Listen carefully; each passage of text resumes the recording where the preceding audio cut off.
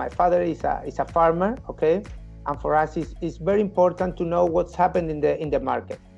Not only sell our product, we need more about the market and the, the contact with the consumers is in the grocery, supermarket, mini market, and high market. Okay. At the same time, uh, you have a, a global um, tool. Okay. You have a, a, your data and uh, um, global data, uh, aggregate data to make better decisions. But your product is always in the in the um, in the agri-food chain, and you discover more about what happened in your environment. Data is playing an increasingly important role in food and plant production. Here in the Netherlands, cultivation under glass is uh, high tech. The, it's becoming commonplace for growers to make use of data in their processes. These crop production facilities will make use of automated watering, climate control, crop care, inventory, and crop rotations. Um, this automation will be driven by data analytics and intelligence.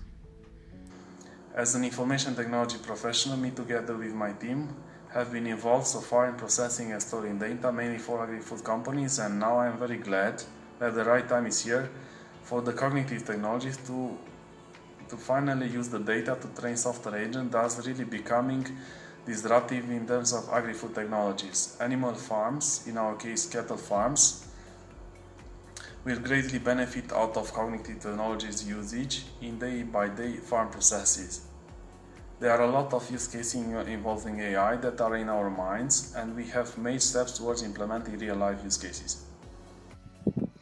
The data will bring us more accuracy between uh, the implement and crops and next future it will give us uh, knowledge and traceability until the consumer. We are attending seminars and trainings regarding AI, AI and disruptive technologies. We are in contact with international large technology providers and we have created a local ecosystem with electronics and communication faculty, Agro Transylvania cluster and Farmers Association. ADI is focused on greenhouse cultivation, building state-of-the-art greenhouse monitoring systems alongside image recognition software to find diseases, pests, and growth of the crop, we bridge biology and technology to enable growers to be data driven.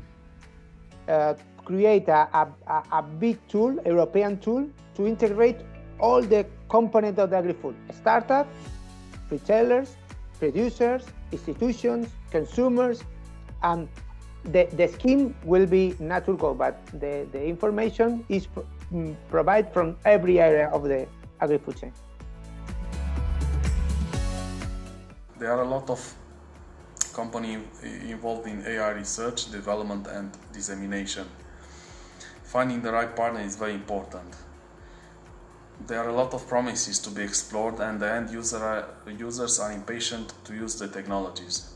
The cooperation is very important in order to reduce the research and development time, reduce the costs and also lower the time to get to the market.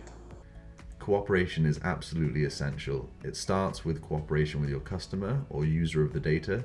The data needs to be actionable for the user. Technological partnerships, consultancy, and distribution partners all present fantastic opportunities to make data innovation more effective. Thank you.